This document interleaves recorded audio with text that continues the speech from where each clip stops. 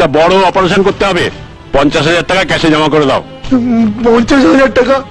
আমি গরিব মানুষ বাবা এত টাকা কোথেকে পাবো? তাহলে আমি কি করব? এনার বাবার অপারেশন সহজে হবে কিনা তার কোনো গ্যারেন্টি নেই। কিন্তু কল্যাণী এমস এর সাধারণ মানুষ জটিল অপারেশন বিনামূল্যে করাতে পারবেন। এটা মোদির গ্যারেন্টি পদ্মফুল চিহ্নে ভোট দিন বিজেপিকে জয়ী করুন।